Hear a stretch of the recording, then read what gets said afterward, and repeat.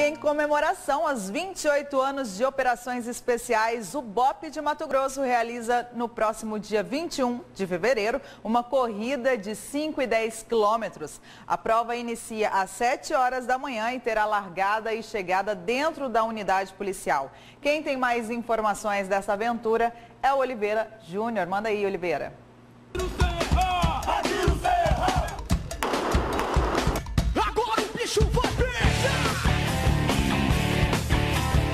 Tropa da elite do Batalhão de Operações Especiais da PM vai acelerar o passo.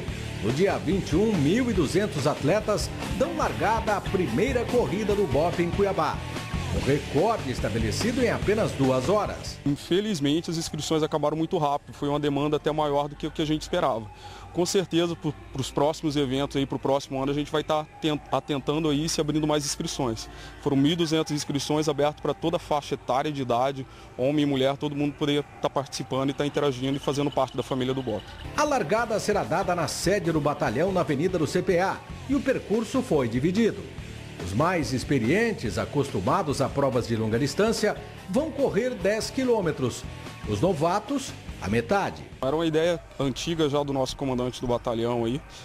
E o BOP, devido ter essa imagem de, de, policiais preparados, a gente sempre já desenvolve o projeto de judô voltado para a sociedade, que ele teve essa ideia de estar tá fazendo essa primeira corrida do BOP aí, uma corrida que, que já começou, graças a Deus, com, com muito sucesso, que com certeza vai participar e fazer parte do calendário esportivo aí nos próximos anos. Toda a arrecadação com as inscrições terá uma destinação especial.